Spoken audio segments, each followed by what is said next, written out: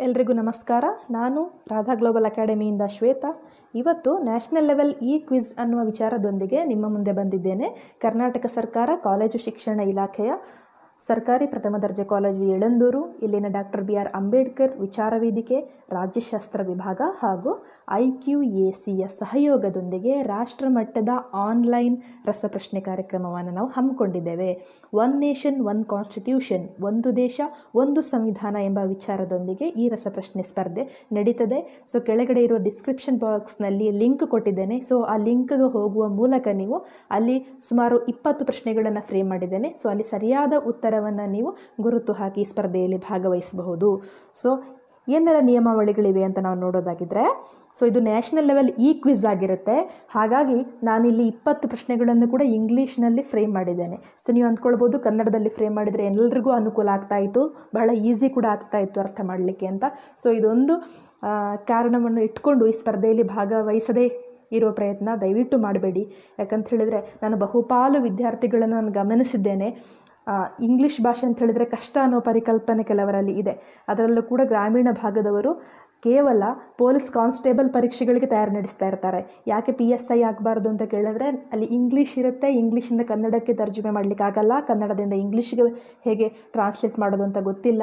Essay ಕೇಳ್ತಾರೆ English grammar ನನಗೆ ಗೊತ್ತಿಲ್ಲ ಅಂತ. ಸೊ ದಯವಿಟ್ಟು ಭಾಷೆ ಒಂದು ಸಂವಹನ ಅಷ್ಟೇ.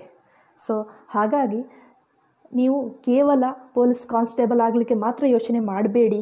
ವಿದ್ಯಾರ್ಥಿಗಳು ಪಿ ಎಸ್ ಐಯಿಂದ ನೀವು ಆರ್ಡರ್ ತಗೊಳ್ಳೋದಲ್ಲ, ನೀವೇ ಪಿ ಎಸ್ ಐ ಆಗುವ ಹಂತದಲ್ಲಿ ನೀವು ಬೆಳಿ, ಬೆಳಿಬೇಕು. ಹಾಗಾಗಿ ನೀವು ಯಾವುದೇ ಅವಕಾಶಗಳಿಲ್ಲ ಇರಲಿ, ಕಷ್ಟ ನನ್ನಿಂದ ಆಗಲ್ಲ ಅನ್ನೋ ಮಾತು ಬರಬಾರ್ದು.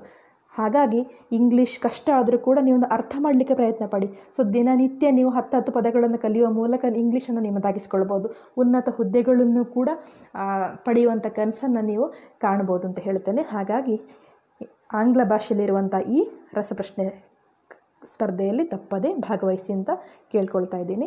ಸೊ ಸರಿಯಾದ ಉತ್ತರವನ್ನು ಟಿಕ್ ಹಾಕಿದರೆ ನಿಮಗೆ ಈ ಸರ್ಟಿಫಿಕೇಟ್ ನಿಮ್ಮ ಇಮೇಲ್ಗೆ ಬರುತ್ತೆ. ಸೊ ಈ ಡಿಸ್ಕ್ರಿಪ್ಷನ್ ಬಾಕ್ಸಲ್ಲಿ ಇಲ್ಲಿ ಲಿಂಕ್ ಕೊಟ್ಟಿದ್ದೇನೆ. ಅಲ್ಲಿ ನಿಮ್ಮ ಡೀಟೇಲ್ಸನ್ನು ಫಿಲ್ ಮಾಡಬೇಕು. ನಿಮ್ಮ ಇಮೇಲ್ ಐ ಡಿ ಸೊ ನೀವು ಯಾವ ಊರು, ಯಾವ ರಾಜ್ಯದವರು ವಿದ್ಯಾರ್ಥಿಯಾಗಿದ್ದೀರಾ ಅಥವಾ ಈ ಥರ ಯಾವ ಡಿಸಿಗ್ನೇಷನಲ್ಲಿ ನೀವು ವರ್ಕ್ ಮಾಡ್ತಾ ಇದ್ದೀರಿ ಅಂತ ನೀವು ತಿಳಿಸ್ಬೇಕಾಗುತ್ತೆ.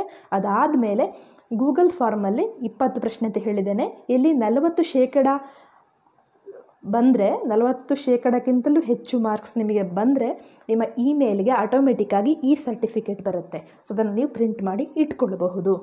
ಸೊ ಸಬ್ಮಿಷನ್ ಆದಮೇಲೆ ನೀವು ಇಮೇಲನ್ನು ಚೆಕ್ ಮಾಡೋದನ್ನು ಮರಿಬೇಡಿ.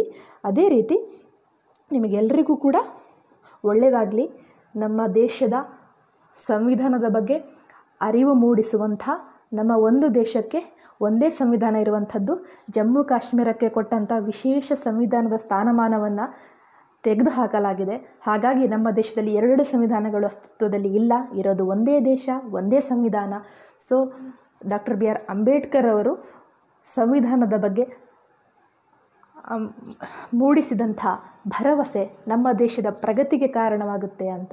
ಸೊ ಅವೆಲ್ಲ ಅವಕಾಶಗಳನ್ನು ನಾವು ನೋಡ್ತಾ ನಮ್ಮ ಕಾಲೇಜಿನಿಂದ ವಿದ್ಯಾರ್ಥಿಗಳಲ್ಲಿ ಹಾಗೂ ಸಾರ್ವಜನಿಕರಲ್ಲಿ ನಮ್ಮ ದೇಶದ ಸಂವಿಧಾನದ ಬಗ್ಗೆ ಅರಿವು ಮೂಡಿಸುವ ಪ್ರಯತ್ನದ ಸಲುವಾಗಿ ರಾಜ್ಯಶಾಸ್ತ್ರ ವಿಭಾಗದಿಂದ ಅಂಬೇಡ್ಕರ್ ವಿಚಾರ ವೇದಿಕೆ ಅಂತ ಭಾರತದ ಸಂವಿಧಾನ ಎಂಬ ವಿಷಯ. ಸೊ ಎಲ್ಲ ಸಂವಿಧಾನದಲ್ಲಿ ಬರುವಂಥ ಕಾರ್ಯಕ್ರಮಗಳು ನಮ್ಮ ಕಾಲೇಜಿನಲ್ಲಿ ಡಾಕ್ಟರ್ ಬಿ ಆರ್ ಅಂಬೇಡ್ಕರ್ ವಿಚಾರ ವೇದಿಕೆಯಿಂದ ನಡೆಯುತ್ತೆ. ಅದೇ ರೀತಿ ಈ ಸ್ಪರ್ಧೆಯಲ್ಲಿ ನೀವು ಭಾಗವಹಿಸಿ, ಅತ್ಯುತ್ತಮವಾಗಿ ಭಾಗವಹಿಸಿ ಪ್ರಯತ್ನ ಪಡಿ ಖಂಡಿತವಾಗ್ಲೂ ಯಶಸ್ಸು ನಿಮಗೆ ಸಿಗುತ್ತೆ. ಇದೊಂದು ಅವಕಾಶ ಅಂತ ಬಳಸ್ಕೊಳ್ಳಿ. So U P S C S S C ಪರೀಕ್ಷೆಗಳೆಲ್ಲ ಇಂಗ್ಲೀಷ್ನಲ್ಲಿ ಇರೋದ್ರಿಂದ ಇದೊಂದು ಅವಕಾಶ ಅಂತ ತಿಳ್ಕೊಂಡು ನಮ್ಮ ಸಂವಿಧಾನದ ಬಗ್ಗೂ ತಿಳ್ಕೊಳ್ಳೋ ಪ್ರಯತ್ನ ಮಾಡಿ. ಸೊ ನಮ್ಮೊಂದಿಗೆ ಸಹಕಾರ ನೀಡಿ, ಕೈ ಜೋಡಿಸಿ ನಿಮಗೆಲ್ಲರಿಗೂ ಶುಭವಾಗಲಿ. Wish you all the best ಅಂತ ಹೇಳಲಿಕ್ಕೆ ಇಷ್ಟಪಡ್ತೇನೆ. Thank you